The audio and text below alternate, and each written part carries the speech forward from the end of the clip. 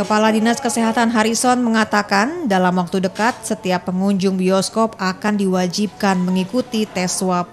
Hal ini disebabkan ruangan bioskop tertutup dan tidak adanya cahaya matahari yang masuk. Penerapan protokol kesehatan dengan pengecekan suhu hanya mendeteksi yang mengalami gejala demam. Penyemprotan dengan cairan benzalkonium klorida pun dianggap tidak efektif dalam membunuh virus. Sementara menggunakan klorin bisa membunuh virus, tapi jika disemprotkan ke ruang bioskop akan mengakibatkan karat. Harrison mengungkapkan jika satu orang saja lolos dengan viral load tinggi, maka seluruh orang yang ada di dalam bioskop bisa tertular. Uh, kita juga uh, tidak yakin dengan uh, pelaksanaan disinfektan ruangan itu ya. Ditambahkan kalau bioskop ini kan tidak ada cahaya matahari yang masuk ya.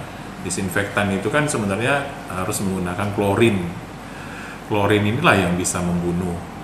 Nah tetapi klorin ini kan kalau kita eh, sering-sering uh, apa namanya semprotkan ke tempat duduk di bioskop itu yang di situ kan ada metalnya itu dia bisa terjadi karat ya, karena dia bersifat korosif.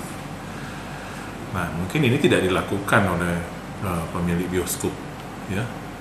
Nah, e, untuk itu kami akan melakukan pemeriksaan terhadap pengunjung bioskop. Ya, pada saat saat ramai kami akan e, lakukan pemeriksaan, seluruh pengunjungnya akan kami swab PCR ya. Harrison menegaskan Dinas Kesehatan terus berupaya menekan penambahan angka kasus terkonfirmasi COVID-19 sehingga Kalbar dapat berada pada zona nyaman. Samsul Hardi, Kompas TV, Pontianak.